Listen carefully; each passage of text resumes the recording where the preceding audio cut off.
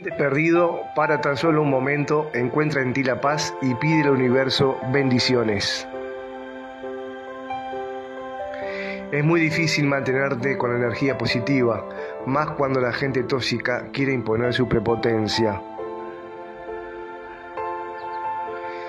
Que nunca se vaya de ti la alegría de compartir con tu familia momentos únicos.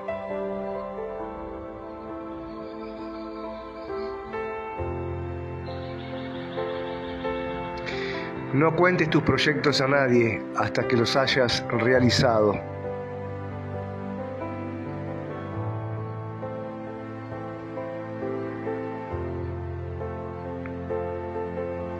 En el camino siempre aparecerán obstáculos y adversidades. Tú guerrera y tú guerrero debes seguir tus luchas.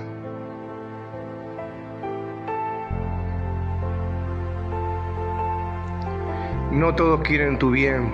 Abre tus ojos a la hipocresía existente.